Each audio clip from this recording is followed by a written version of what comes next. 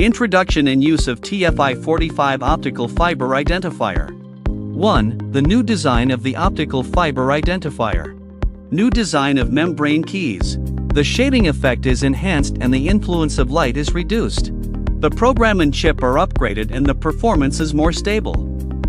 Ergonomic design. Compact and practical, portable to use.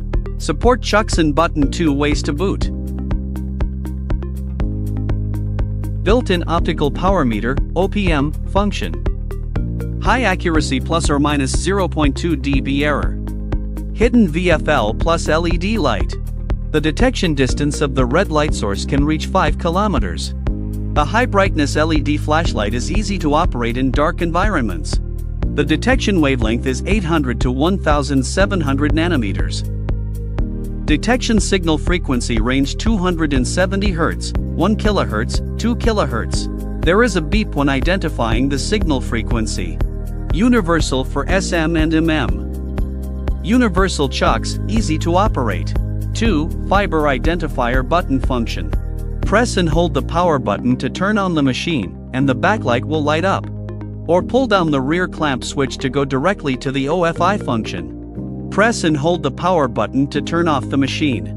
When the power is on, short press the power button. Turn on the flashlight and the screen will display an LED icon.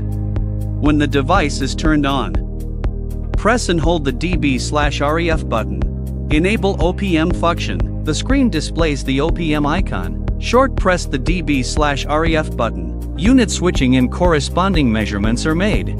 Short press the wavelength button. Switch between 7 wavelengths. Boot in any state. Short press the VFL button. Turn on always on VFL mode. Short press the VFL button again. Turn on VFL flashing mode.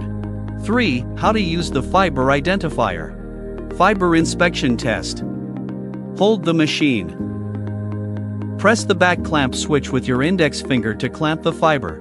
Start testing automatically. The backlight is adjustable.